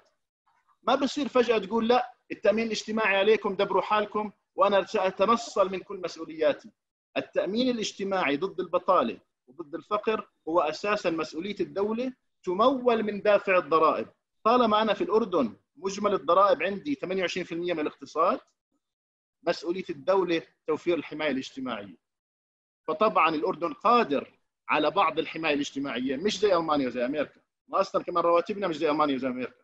يعني إحنا عمالنا نحكي معدل رواتب الأردن 450 دينار أو 500 دينار مش زي 60000 دولار أو 70000 دولار اللي موجودين في أمريكا. فطبعا ما في مقارنة بمستوى الاقتصاد وحجمه وغنائه وغناء عفوا. لكن نعم ضمن المعطيات الأردنية الدولة الأردنية قادرة على تنفيذ قانون الضمان قادرة على آه، صندوق المعونة الوطنية لحماية زي ما يتفضل الاستاذ سائد لحماية الأطراف المهمشة اللي تضررت كثيرا. وبنفس الوقت من غير ما نتنصل من قوانين راسخة ستضر بالمستقبل. هذا التنصل سيضر اقتصادنا في المستقبل للأسف. عشان هيك أعود وأكرر. أحسن شيء تقدر تعمله الحكومة هلا رجاء. الغي لنا القانون. بكلمة واحدة يقول يعود قانون الضمان وقانون العمل كما هو. وبسرع المحاكم وبسرع البت بأي خلافات. لكن الحمايات الموجودة بالضمان والعمل كثير أفضل وأعدل وأحسن للبلد على المدى المتوسط والبعيد.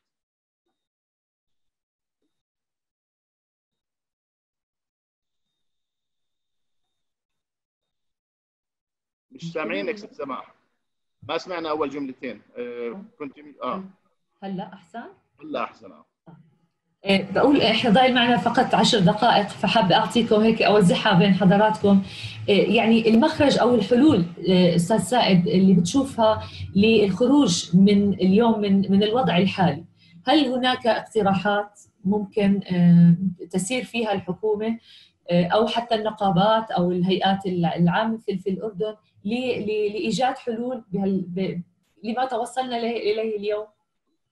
آه، أنا رأيي العام إنه آه، نتخلى عن هذه السياسة في قضية التدخل في تفصيل العلاقات بين العامل ورب العمل وأن نركز على الحماية للأقل الأرق حالا وأن نضع نصوص عامة آه، تحمي هؤلاء وأن نترك قانون العمل يأخذ مجراه مع تسريع إجراءات التقاضي لكي يأخذ العامل الذي ينازع صاحب العمل فصل تعسفي أو أي حقوق أخرى أن يأخذ حقوقه بشكل سريع.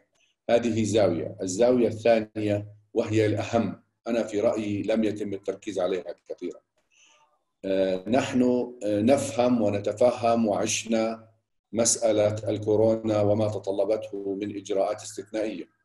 اليوم واضح جدا إن الوصول للصفر عاد كلام عبث مش مواقعي. اليوم إحنا لازم آه، نتكيف مع وجود هذا الفيروس لمدة ست أشهر إلى سنة على الأقل. ولهذا التركيز الأهم يجب أن يكون أن تتدخل الدولة وهذا الذهن الإجباري في علاقة العمل أو الجبري أن يتدخل لقضية فرض آه، نصوص على تطبيق إجراءات الصحة والتباعد وأن نعود كامل إلى إلى ساحة العمل وإلى إجراءات العمل لأن في تصوري أن إعادة الإعادة إلى اعاده الحلقة الاقتصادية هو الضمان الأهم. هذه واحدة. ثانيا نريد أن نسمع بشكل عملي عن قروض البنك المركزي واصل القطاع الخاص.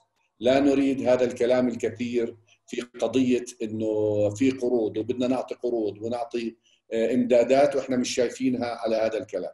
لا يجوز أن يستمر هذا الإقراض بفوائد عالية. يعني فترة حزمة حزمة الإجراءات المتعددة آه، الشاملة أريد أن أقول أن هنالك قطاعات أكثر تاثرا مش أكثر تاثرا آه، هناك قطاعات تقريبا في حالة انعدام دخل لمدة سنة أو سنتين لا يجوز أن تضم إلى كافة القطاعات تحت يجب أن تعالج وضعها ويمكن المجال السياحي مجال آه، معين مجال النقل أو شيء يعني في قطاعات معينة أهمها السياحية تعرضت لضربة قوية يجب أن تعالج بشكل أساسي. النقطة الثالثة والأخيرة اللي بدي أقولها فرصة لنعالج هذه العيوب التي ظهرت لنا. قضية الانضمام بالضمان الاجتماعي، ليش يكون في عندنا ناس مش ما عندهم مش ضمان اجتماعي؟ شو مانعنا نيجي نقول اليوم كل الأردنيين اللي تنطبق معهم الشروط تفضلوا سجلوا مسامحينهم بالغرامات السابقة مسامحينهم بالنصوص تفضل سجل. انت ممكن أن تحول هذه الجائحة آه، لفرصة فرصة لقصد الحماية آه، آه، الضمان الاجتماعي. والضمان الاجتماعي الصراحة هو رواتب الناس. باخر النهار. يعني هو مساهمات القطاع الخاص ومساهمات العمال في هذا الأمر. أنا أدعو أدعو إلى تغيير الذهن القانوني الذي يفكر في قضية العلاقة بين العمال وصاحب العمل وأن يترك مع حماية الأقل الأرق حالا وأن يركز الجهد ليس على التدخل في الفصل التعسفي والعقد المحدد وعقد غير المحدد بقدر ما يركز على إعادة الحلقة الاقتصادية التي تضمن إن شاء الله أن يخرج البلد من هذه الظروف وهذه الجائحة.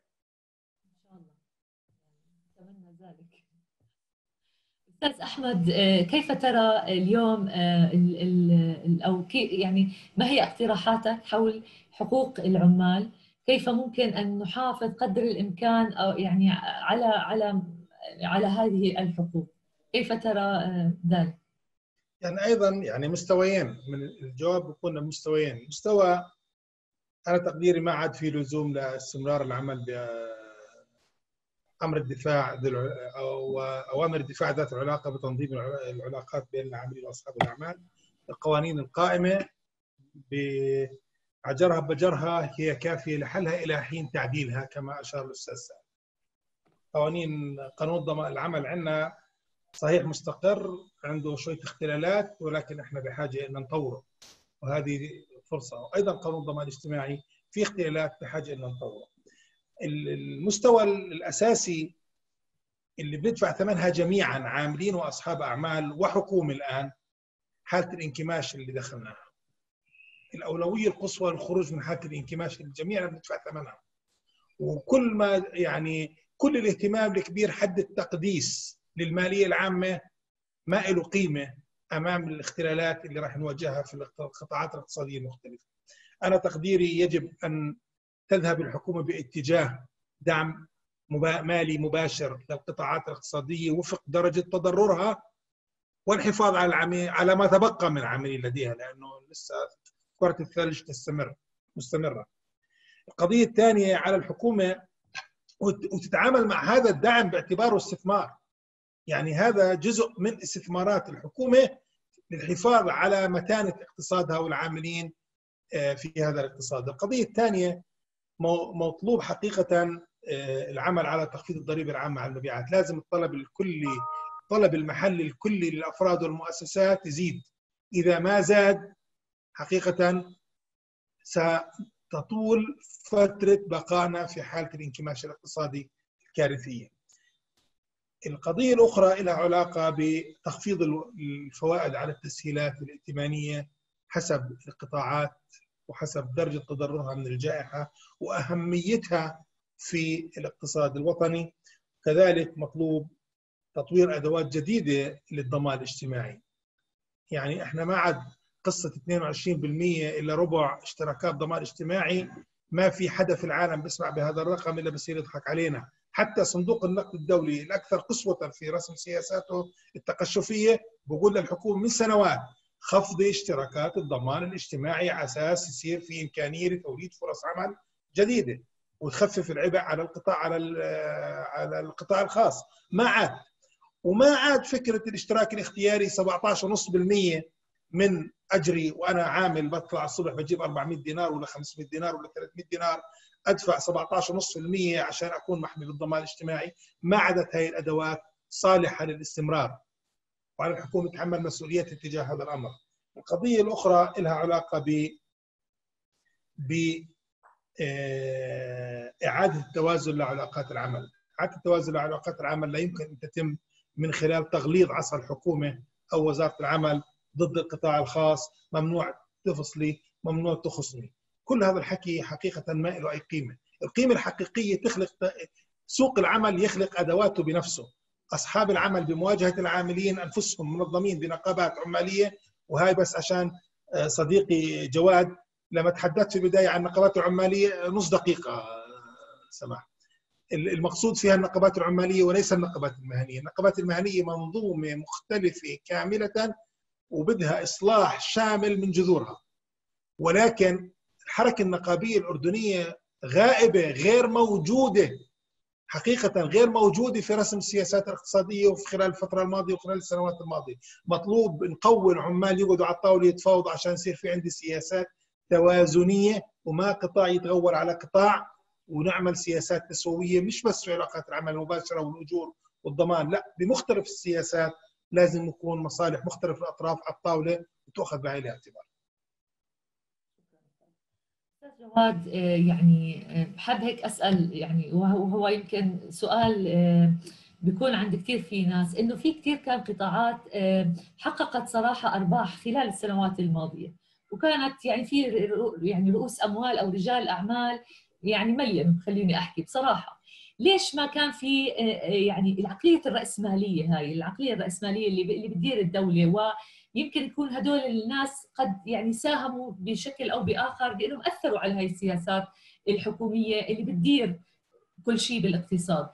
يعني أنا حابة أسألك قديش اليوم يعني هدول عليهم يعني مسؤولية تجاه الأردن وتجاه العمال وحابة آخذ منك يعني آخر شيء يعني تنهي لنا إياها بالاقتراحات اللي اللي بتشوفها للخروج من الأزمة اليوم.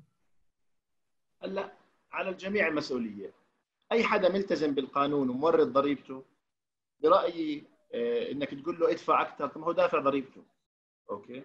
حتى لو هو غني كثير خصوصا إنه إحنا في أزمة ثقة ما بين الشعب وما بين الحكومة كيفية صرفها. أعطيك مثال. بسنوات العز الأردن بين 2003 و2010 زادت الإيرادات الضريبية للدولة المحلية زادت 12.5 مليار دينار أردني. كانت تكفي لخلق حالة جديدة من البنى التحتية في الأردن. 12.5 مليار دينار أردني فائض زيادات ضريبة محلية زيادة عن مستوى سنة 2003 ماذا فعل الجهاز الدولة الأردنية بالعشر سنين هدول؟ زاد النفقات الجارية ب 13.5 مليار دينار أردني. يعني كل الزيادة في الضريبة بسبب النمو الاقتصادي 12.5 مليار صرفهم كلهم وتدين فوقهم مليار دينار أردني. هاي تكسر الثقة إنه أنا بعطيك فلوس مش عارف وين راح تروح. هاي الثقة انكسرت. هاي نقطة. النقطة الثانية بدي بدي أعطي المسج الرئيسية. دعامات الاقتصاد أساسا قطاع نقل قطاع اتصالات قطاع طاقة. كلهم كانوا يسموهم ناتشورال مونوبوليز احتكارات طبيعية. التطور التقني سمح بإدخال المنافسة في قطاع الاتصالات. وشفنا وضعها كيف شالت البلد شالت التعليم عن البعد أسعار رخيصه تنافس بين شركات. في شركات دخلت وخسرت في شركات دخلت وربحت في شركات دخلت بمئات الملايين وخسرت مئات الملايين. قطاع الطاقة حاليا التقدم التقدم التقني في قطاع الطاقة سواء مشتقات أو كهرباء يسمح بالوصول إلى قطاع تنافسي حقيقي. وننتهي من قصة أنا عندي شركات توزيع وعندي شركة وطنية تشتري من الكل وبتوزع ويفقدون ما يفقدون ومضمون أرباحهم. بالعكس أنا ممكن أوصل مرحلة زي لما أنا بالإنترنت بختار مين المزود الإنترنت تبعي بقدر أختار مين مزود الكهرباء تبعي. على حسب أسعار مختلفة بحسب تنافس المزودين وموجودة حاليا والتقدم التقني وصل. الحكومة الأردنية والدولة الأردنية يجب أن تتوجه خلال أربع خمس سنوات لقدام. نحط خارطة الطريق لجعل قطاع النقل تنافسي فعال لقطاع الطاقة تنافسي بالكامل وفعال ليصير إلى جانب قطاع الاتصالات. هاي أساس الاقتصاد. وقتها نتوجه للمستقبل بخطى ثابتة. كذلك على الحكومة الآن لما أنت عندك انكماش وأنت خسرانة مدخول سياحي فوق ال 4 مليار دولار ب 4 مليار دينار عفوا يجب يجب يجب التحفيز المالي مشاريع بنية تحتية أساسية تخلق فرص عمل تزيد السيولة في الاقتصاد وبنفس الوقت تخلي اقتصادي فعال للمرحلة القادمة. مثلا استثمار بسدود ترابية لأنه هاي بتنمي بتنمي الثروة الحيوانية والثروة الزراعية في البلد وبنفس الوقت لا. لا تحتاج إلى مدخلات أستوردها فما بتعمل لي ضغط على ال على ال على المخزون الأجنبي احتياطي النقد الأجنبي اعطيك مثال التيسير الكمي اللي قاعد بيصير بأوروبا وأمريكا نستطيع عمل جزء منه في الأردن مش بنفس الزخم يعني أمريكا تيسيرها الكمي تقريبا راح يوصل 6 مليار دولار.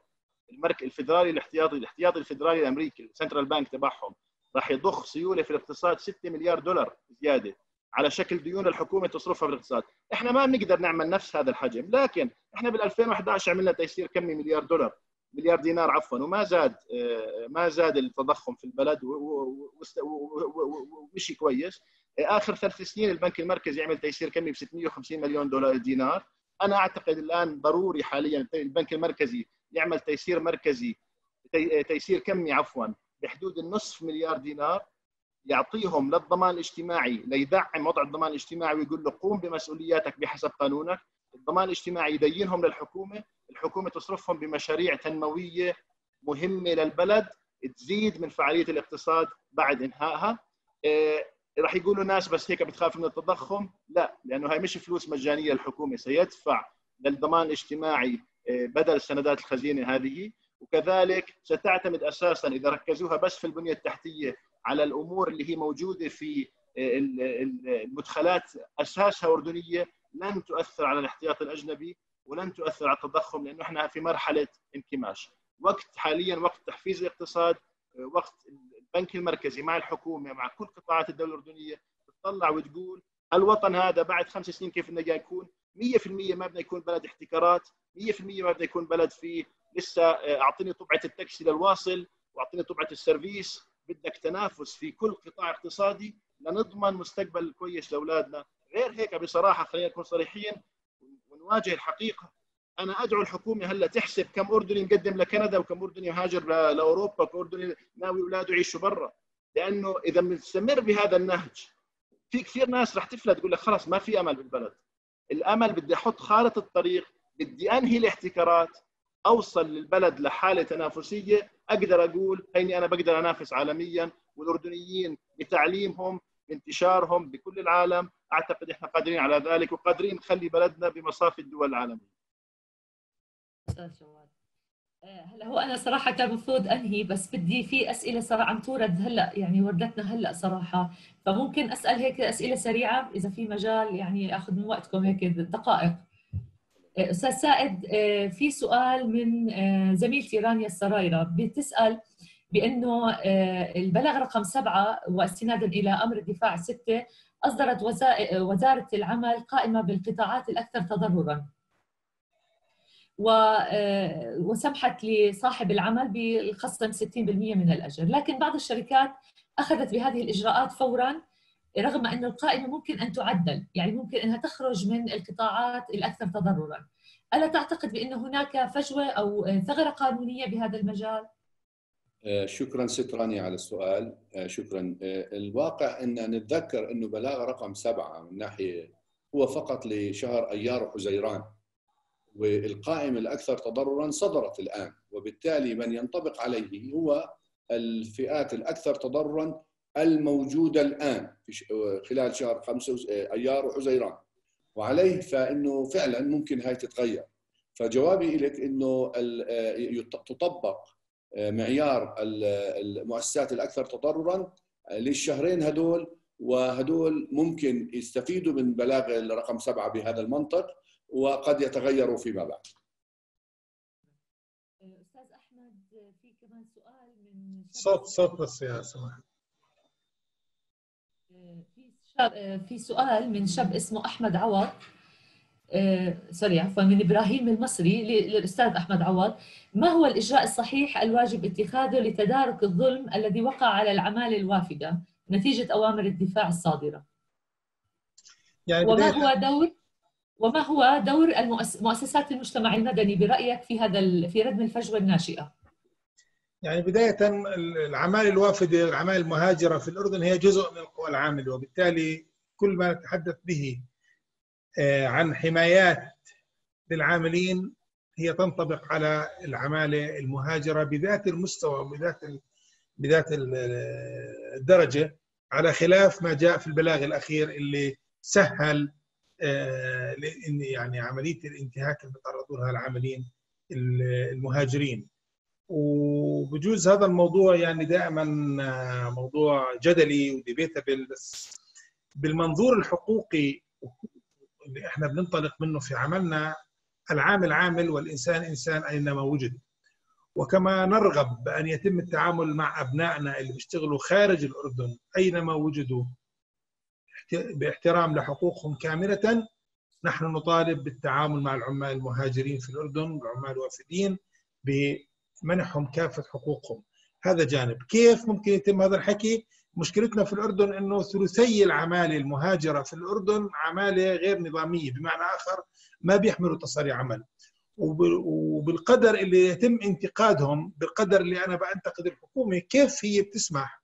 كيف منظومة يعني المنظومة اللي بتنظم الاعمال المهاجرة في الأردن فيها كل هالفجوات اللي بتسمح بوجود عمالة غير منظمة، الأصل أن يكونوا جميع العاملين منظمين ومعهم تصريح عمل ومسجلين في الضمان الاجتماعي وينطبق عليهم ما ينطبق على العمال الاردنيين، وإذا في خلل في الأعمال المهاجرة مع غير غير مع مع تصريح عمل هذه مشكلة في المنظومة الرسمية وبحاجة إلى إصلاح. دور المجتمع المدني أنا تقديري المجتمع المدني خلال هذه الأزمة لعب دور مفصلي وجوهري كل حسب اختصاصه.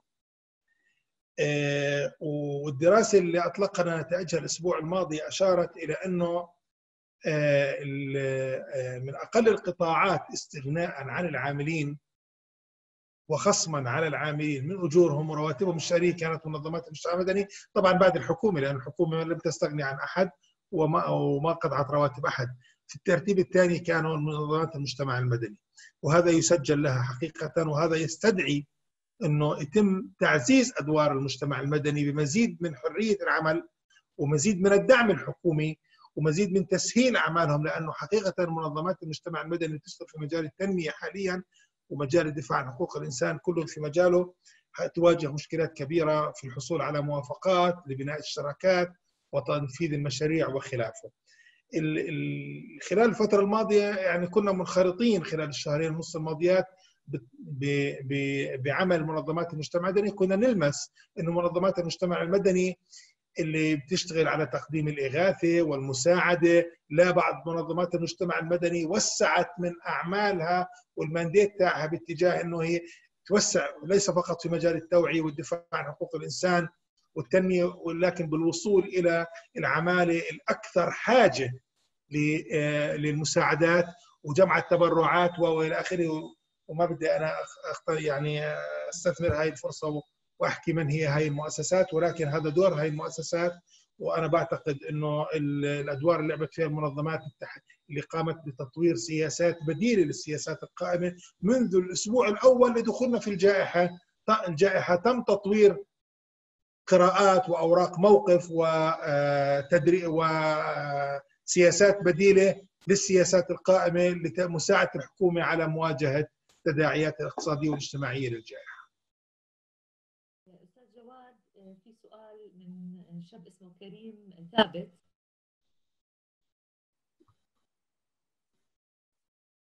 جواد في سؤال من شاب اسمه كريم ثابت. بيحكي إنه في بداية الحظر كان هناك سوري كان هناك في بداية الحظر وعود من الاتحاد الأوروبي ومؤسسات دولية والبنك الدولي لدعم السيولة مباشرة لدعم القطاع الخاص.